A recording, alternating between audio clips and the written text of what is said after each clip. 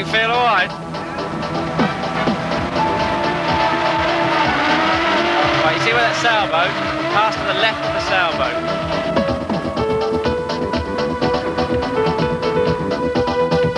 Water pressure's a bit high.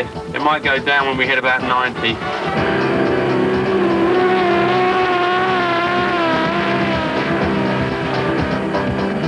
Down about 100 now. Everything feels good. Water pressure's still high. We're going to have to trim that off when we get back.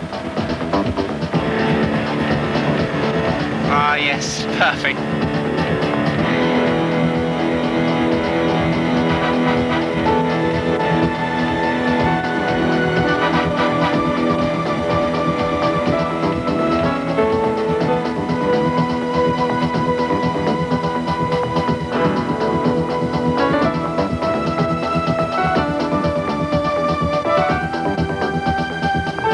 I think we better call it night because it's getting dark quick.